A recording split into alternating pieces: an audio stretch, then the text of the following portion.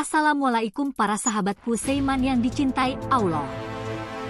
Kisah mualaf Ustadz Ahmad Antoni berawal mimpi tujuh hari berturut-turut tentang pertolongan Allah.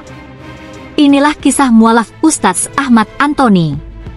Ia merupakan dai dari suku Dayak, Kalimantan Barat, sekaligus pengawas Yayasan Laskar Tujuh Langit. Dulu ketika belum menjadi muslim, Antoni sangat membenci Islam. Namun akhirnya ia mendapat hidayah dari Allah Subhanahu wa Ta'ala ketika mimpi tujuh hari berturut-turut. Ustadz Ahmad Antoni mengatakan sejak kecil dirinya adalah seorang non-Muslim. Namun, ia tidak pernah diajarkan dengan hal-hal keagamaan oleh ibunya. Dia juga berteman dengan Muslim, tapi tidak pernah menyukai Islam. Sejak kecil memang tidak suka Islam. Berteman dengan Muslim, tapi tidak suka agamanya, kata Ustadz Ahmad Antoni dalam kanal YouTube Laskar Tujuh Langit. Hingga saat beranjak dewasa, Ustadz Antoni mimpi selama tujuh hari berturut-turut. Menurut dia, hal itu terasa aneh karena bunga tidur yang muncul adalah tentang Islam, sementara saat itu ia adalah non-muslim. Sampai akhirnya dirinya mendapatkan hidayah dan mantap mengucap dua kalimat syahadat. Saya dikasih mimpi tujuh malam berturut-turut, ujar Ustadz Ahmad Antoni.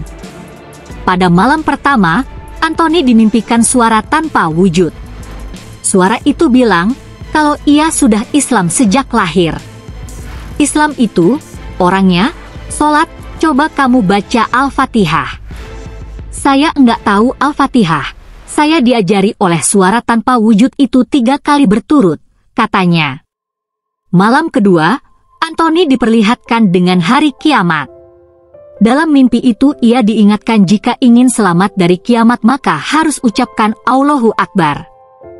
Kemudian semua gelap dan terdengar suara-suara. Mimpi ketiga, saya dimimpikan dengan air bah. Saya duduk di atas batu, katanya. Antoni saat itu duduk di atas bukit dan batu. Lalu terdengar suara, jika ingin selamat dari air bah, maka harus mengucapkan Allahu Akbar. Lalu dalam mimpi keempat, Antoni diperlihatkan dengan orang yang sedang berduel. Tiba-tiba bumi terbelah dan ia memegang tongkat. Saya ucapkan Allahu Akbar tiga kali dan bumi pun merapat lagi, ujar Ustadz Ahmad Antoni. Mimpi kelima, Antoni diberitahu jika ingin selamat dari api neraka, ucapkan Allahu Akbar. Melihat api yang makin menyambar, ia hanya pasrah apabila gilirannya mati. Tapi saya ucapkan Allahu Akbar. Ketika bola api itu datang bukan panas, tapi seperti tersiram air, terangnya. Lalu di malam keenam, Antoni mimpi masuk rumah ibadah agamanya dulu. Di dalam mimpi itu ia menerima roti, tapi di posisi antrean paling belakang. Ternyata yang diterima bukan roti, tapi telur yang sudah busuk. Dikarenakan sangat kesal, dia lemparkan telur itu sambil mengucapkan Allahu Akbar.